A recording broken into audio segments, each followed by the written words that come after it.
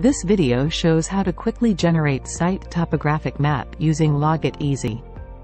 First, open the Sites tab and click on the site you'd like to create the site location map for. Then, click on the Get Maps Online button and select Get Site Location Map from the menu. On the pop-up screen, select Zoom Level, Imperial or Metric Units and Background Map Type. USGS topo maps are available for the US only. Select whether you'd like to show site location label. Enter figure title, figure number and upload your logo.